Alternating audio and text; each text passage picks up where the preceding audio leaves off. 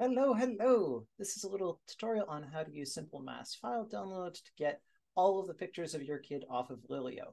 So the first thing you're going to want to do is sign into Lillio, and you'll be greeted by your kid's profile page. Click over to Entries, and we want to download all of the pictures of our kid. We're going to do the first five tabs.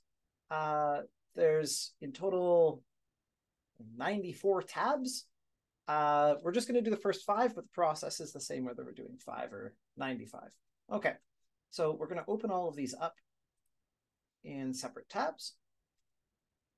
So now we've got them going along here. Then we're going to go over to extensions. Open up Simple Mass Downloader. Okay, and we're going to collect links from open tabs and add them to the list.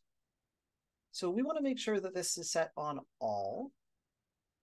And we want to set a text filter that ignores the thumbnails. So we don't want these small pictures. And we want our extensions to be JPEGs. Okay, so we'll go start.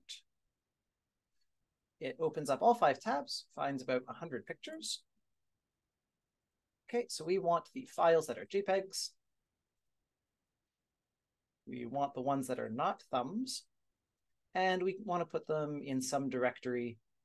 So I'll say pictures of kid from Lillio. Okay, so that will put that in a subfolder of your downloads folder. Okay, now we hit select all.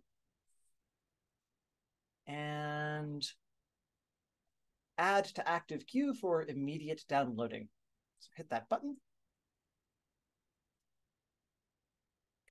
And it will start downloading the files. Let's see this going through all the files, pulling them down off of Lillio's website. Great. And if we check on that folder,